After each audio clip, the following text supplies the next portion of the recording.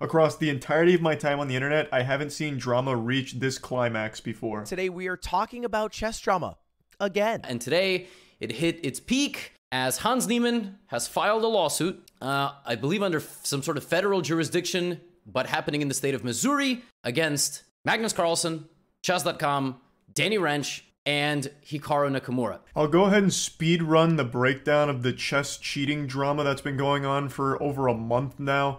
It has been a non-stop, action-packed, wild and wacky ride straight into fucking drama Valhalla. It has been the gift that just keeps on giving. The carved wood drama is unlike anything I've seen before. It all started when Hans Niemann played Magnus Carlsen at a tournament. Hans Niemann beat Magnus Carlsen, which was a, surprise to the entire chess world since Magnus Carlsen is the best. After losing, Magnus tweeted out some things that kind of imply that Hans cheated. Hans said, No, I didn't cheat. I just dusted your ass. Chess.com came out and said, Well, Hans uh, has cheated uh, a lot, a lot online. Hans Niemann even confessed openly to cheating in online games, but maintained his innocence in over the board physical chess matches. And then Chess.com came out with evidence against Hans Niemann that he has cheated in more online games than he initially let on, including online games for tournament money and more than he had initially said to the community.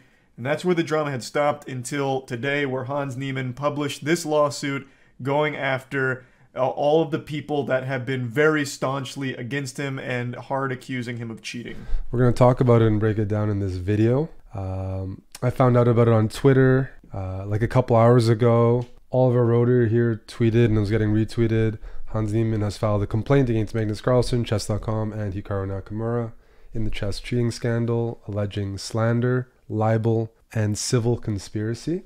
Um, so that came out a couple hours ago. Um, so I don't know if he had inside info that this was coming out, but then it's like, okay, that's juicy. Uh, and then Hans Niemann tweeted himself an hour ago. My lawsuit speaks for itself. Obviously, a reference to his own interview where he said, My chest speaks for itself after defeating Magnus Carlsen.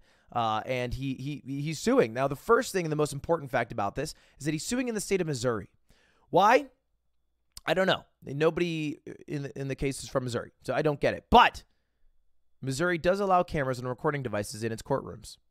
So this perhaps means if it somehow gets to court that we could see a live stream of this, which which which is which is exciting. This is exciting news. But here's the thing, I don't know if it'll get that far. Why? Well, the court case it's a little nuts. Uh, he is suing basically three people. He's suing chess.com, all right, the website that posted a 72 page dissertation on how Hans cheated over the uh, uh, online uh, and kind of backed Magnus's statement for $100 million. He's suing Magnus Carlsen for saying defamatory statements for a $100 million. Wait, is he? Su- oh, yeah, I guess Play Magnus is part of, uh, wow. Wow. Wait, why? Who? Who? Wait, he's suing Hikaru too? Here is the report. And we are not going to read the entire report, but rather we are going to get into the most important parts of it.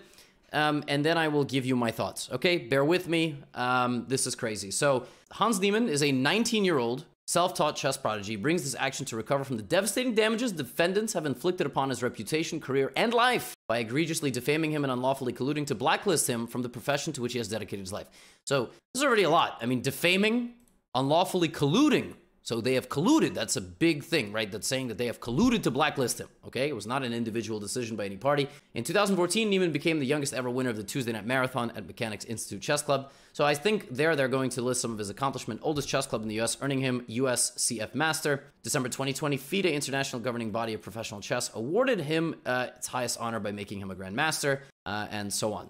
Chess is Niemann's life. His gift for playing chess earned him a scholarship to the prestigious Columbia Grammar and Prep School in New York City. Uh, and he attended uh, working full time to support himself financially. Since the age of 16, his sole means of supporting himself have been from the money he makes teaching chess and participating in chess tournaments. Yes, I know that life as well. Magnus, 31 year old chess player from Norway. He's presently five time world champion. This is just background. Prior to the acts giving rise to this complaint, Play Magnus proudly touted uh, Hans as one of its ambassadors. Over the years, Play Magnus has grown into one of the two largest online companies in the world. Second only to the multi-billion dollar behemoth chess.com. I wonder, is that, do they know that? Anybody know that? Really? Billion? Or is that just a figure of speed? Good for chess.com, damn.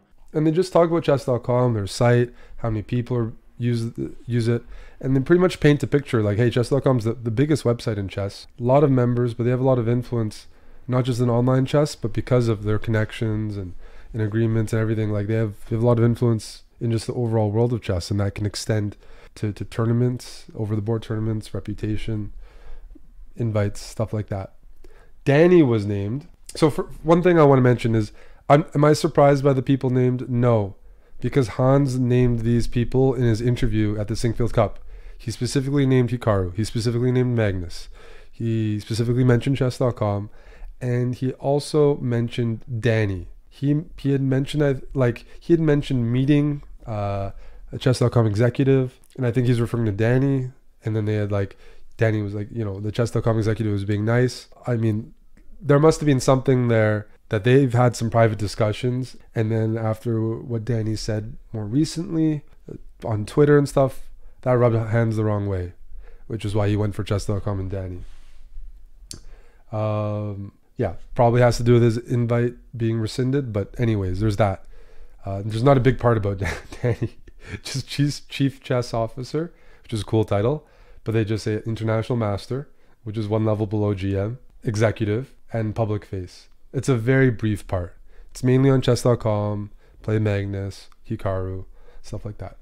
Now, this is where it gets interesting. According, Niemann asserts the following claims against his defendants slander, libel, unlawful group boycott under the Sherman Act, good lord, tortuous inter.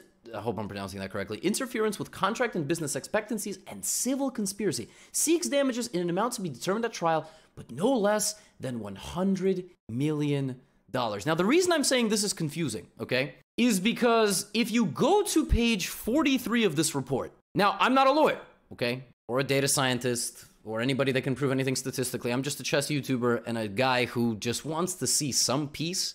Like we like chaos, but this is a bit much. This is what I don't get. He cons- he requests the court grant the following relief: the first cause of action, not less than 100 million. Second cause of action, not less than 100 million. Does this add up? This is what I'm confused about.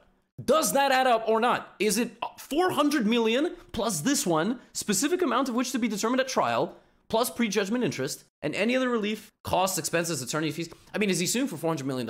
And just for reference, here's the top 10 all time prize money winners. They're not even breaking 10 mil. So it really seems like that number is way out of proportion here. Hans Niemann could play chess professionally for the next thousand years and never even come close to earning a hundred million dollars. So those damages seem outrageous, but I'm not a lawyer, and from what I understand, this is very normal in defamation cases where they just put an absolutely astronomical number there just to try and get as much juice for the squeeze as possible and make it like as big and scary and intimidating as it can be. Uh, I don't think they're actually hoping to get that much. The problem is when you defame a public figure, for the public figure to correctly sue you for defamation, they need to prove actual malice. Now, I only know this because I went to journalism school, a degree that I barely use these days, but I still went and we did an entire semester on this uh, because it related to New York Times, uh, um, obviously uh, the news site, uh, newspaper. And, uh, and what that means is that if they're a public figure, uh, the person who said the false statement has to have said it with the knowledge it was false or reckless disregard for whether it was false or not. So not only do they have to prove that what Magnus said was false, so prove that Magnus saying Hans cheated was wrong, but they also have to prove that Magnus said it with the knowledge that it was wrong, so he just did it to ruin Hans's career, which it seems will be about as hard to prove that Hans cheated. So I don't think this court case is going to go anywhere, and don't just take my word for it. You can also take the word of Akiva Cohen, who is a litigator um, of the commercial sorts, who said, again, this entire case boils down to did uh, Carlsen believe that Niemann cheated? I haven't seen anything alleged that he didn't. Uh, lots of psychoanalysis, but no facts to support he knew it was false yet. That's the actual malice. Uh, and then he follows up that the Nakamura defendant was really weird, which I agree with. It was really weird. I guess Hikaru kind of stirred up a little bit of the insinuations at the beginning, but that is a bold. I feel like this is honestly just a flex. And they sent letters to all the defendants, and it says in each letter that the defendant has 21 days to respond. So we should be hearing back within the next few weeks. Uh, so yeah, that's that's what happened today, and I'm curious in the comments, what do you think of the lawsuit?